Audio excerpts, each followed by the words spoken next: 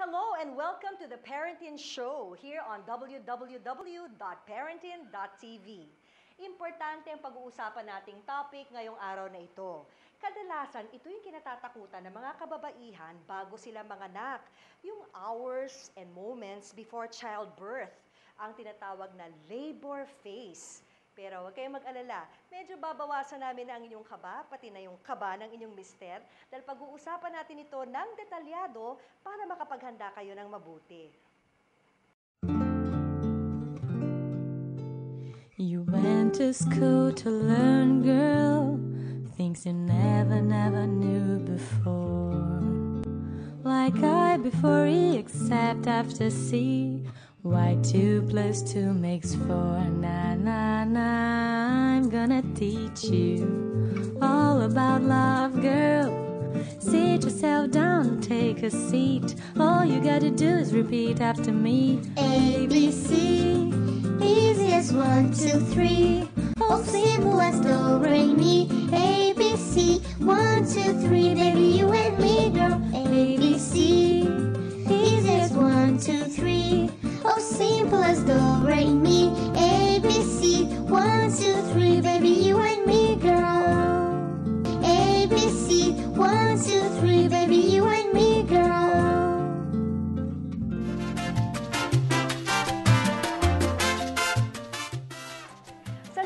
labor room here at the St. Luke's Medical Center, there's an average of five moms going into labor each day.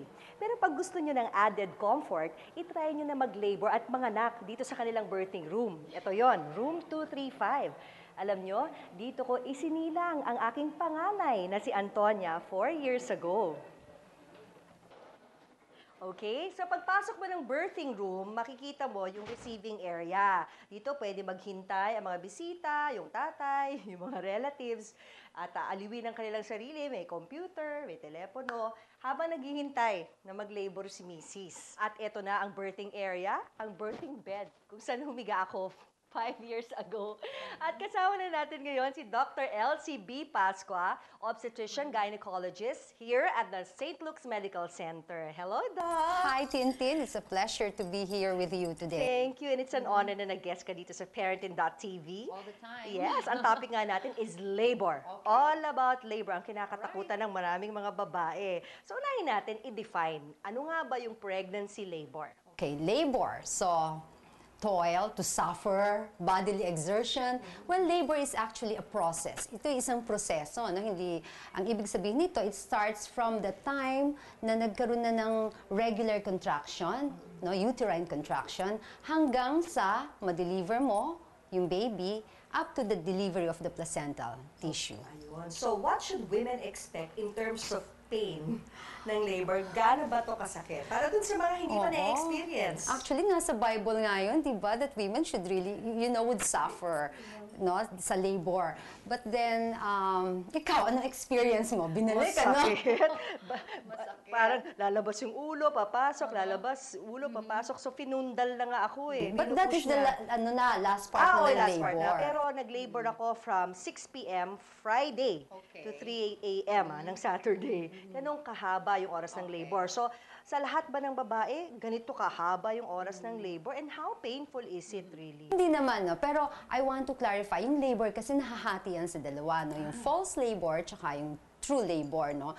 Yung false labor, ito yung mga contractions, ah, hindi pa ganun ka-regular, no? When you say hindi pa regular yung contractions, anong ibig sabihin? Yung Intervals interval of- niya, 15, 20, uh, every 15 minutes, 20 minute apart, tapos mawawala pala. So yung true labor naman, nahahati yan sa latent phase tsaka yung active phase. Yung latent phase, ito yung ano, ang contraction mo, mga every 5 to 10 minutes apart. Pero ano, no, hindi pa siya sufficiente para mag-dilate ang cervix mo. So, yung active phase, ito yung active phase of la- true labor, ito yung ang contraction mo every 2 to 3 minutes apart, no? So, kunyari, 1 o'clock, titigas yan. Yung uterus mo, after 2 minutes, ayan na naman. Then, after 2 minutes, ito na naman, no? So, pag active phase ka na, ito na yung phase ng labor na kung saan effective para mag-dilate ang cervix mo. Yun. No? So, kailan dapat pumunta ang babae sa ospital para i-check Okay. niya ng kanyang sarili? Sa first phase pala ng labor o sa active phase na?